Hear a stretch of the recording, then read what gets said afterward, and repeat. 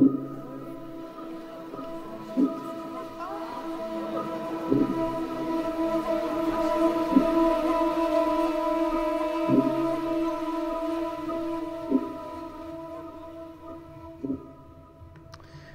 hello and good evening. I am JSB Game and uh, I am here because I have a short announcement to make.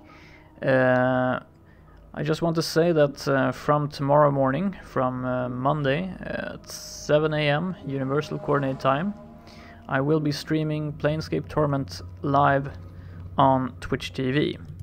So uh, we're going to be picking up where we left off in the recorded sessions. So we're going to be playing from uh, the Sensorium, uh, but we'll be doing it live on Twitch from now on. And I know I said uh, that I would be releasing a new gameplay video this weekend, but uh, I just didn't have time for it. So I decided uh, that instead I'm going to go back and I'm going to replay around one hour uh, of gameplay that I've already played. Um, but actually it's going to be easier for me this way, it's going to be less work. Uh, and I didn't really have time to to make another recording and uh, get everything on YouTube.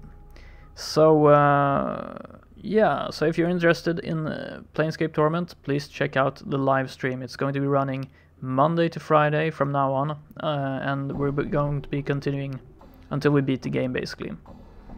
So streams will be uh, three three to four hours long, every Monday to Friday from 7 a.m. Universal Coordinated Time.